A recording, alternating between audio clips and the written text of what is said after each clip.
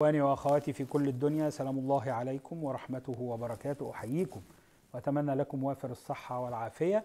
النهاردة إحنا بنتكلم عن المرضى اللي عملوا استبدال لمفصل الركبة وما زال عندهم الألم لكن بيتحركوا ما بقوش معاقين. يعني هم كانوا بيتحركوا وماشيين عادي وكل حاجة عندهم شوية ألم لم يقتنعوا إن هو لازم يعيش بشوية ألم.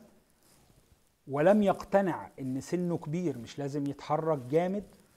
ولم يقتنع إنه لازم حتى لو هو نشيط ركبته أصبحت مش نشيطة.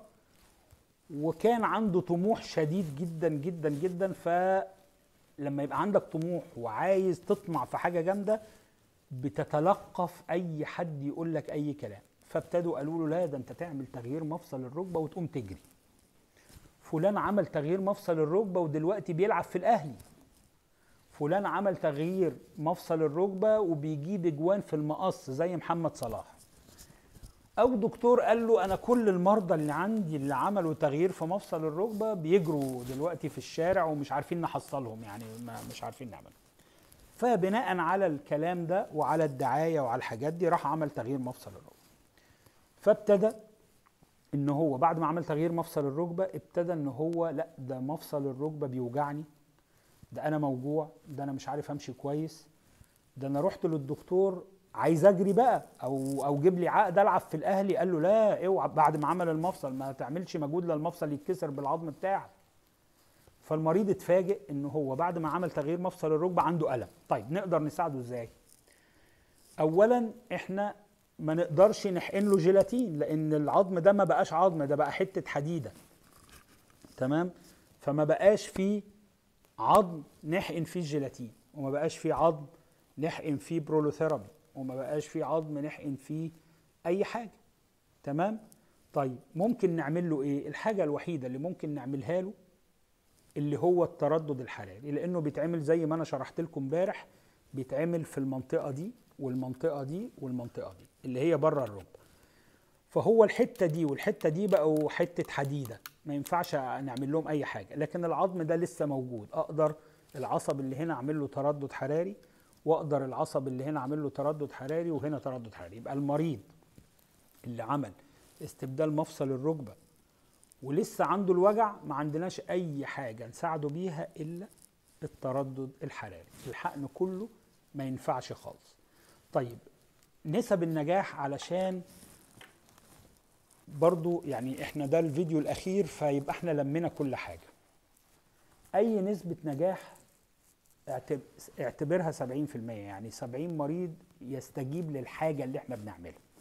فالتردد الحراري ده برضو المفروض إحنا عاملينه علشان نعالج الأعصاب فالألم يروح. لما حضرتك بتعمله برضو 70 مريض بيرتاحوا 30 مريض ما بيرتاحوش. فلازم نبقى إحنا مستوعبين هذه النسبة. ليه السبعين واحد دول ارتاحوا معرفش الطب ما يعرفش. والأبحاث لسه ما تعرفش. ليه 30 واحد ما استجابوش؟ ما نعرفش. ولا الطب يعرف. فاهمني؟ اشتم بقى في الطب. في ناس أول ما تقول له الطب ما يعرفش يقول لك الطب متخلف الدكاترة متخلفين المش عارف إيه. ماشي اشتم زي ما تشتم. هل ده هيخلينا نكتشف السبب؟ مش هنكتشف السبب. مش هينوبك غير يعني الإهانة وقلة الأدب. وده كتير قوي. ناس كتير بيبعتوا أنتوا كدابين أنتوا فاشلين الطب فاشل اللي مش عارف إيه فاشل ويقوم رايح جايب زيت كركم ولا يجيب مش عارف إيه. يعني بعد كل ده اللي فاشل هو يروح يعمل حاجات تانية. فالنسب كلها ده إيه؟ 70% فنسب الألم علشان تروح من الركبة بالحاجات دي إحنا قلنا إن الوجع علشان يروح لازم العظم يلتئم. انت جايب مريض كبير في السن.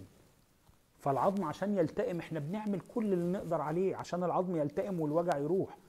فنسبة زوال الألم 70% أو 60% يعني كل 100 مريض بنعمل له كل الحاجات دي 60 واحد الألم يروح و40 ما يروح أو 70 واحد الألم يروح و30 ما يروحش. فدي النسب بتاعت الألم. لكن لما أنت بتحقن مادة جيلاتينية 100% هتحمي العظم. ما هي موجودة خلاص انت انت دي بقى دي 100% حماية 100% حماية. ثقة في الله نجاح. تمام؟ يعني 100% حماية. لكن انت بقى بتحقنها ومستني بقى العظم يبتدي يلتئم عشان الوجع يروح؟ أتمنى إن أنا أكون بالمحاضرات دي لميت كل الحاجات اللي في دماغكم علشان تفهموا مفصل الركبة والمشاكل بتاعت مفصل الركبة. أتمنى إن يكون في وعي وإنك تبقى عارف أنت بتعمل ده ليه وبتعمل ده ليه وبتعالج ده ليه. ما يبقاش كله إن أنت إيه والله أنا سمعت دكتور بيتكلم على البلازما عجبتني أو رايح اعمل بلازما. واحد تاني بيتكلم على الهيالورونيك كيفني أو رايح اعمل البتاع واحد تاني بيتكلم عن التردد الحراري أو ما أروح للتردد الحراري. واحد بي بيحقن المادة اله- الهولندية عجبتني أو رايح احقن المادة الهولندية.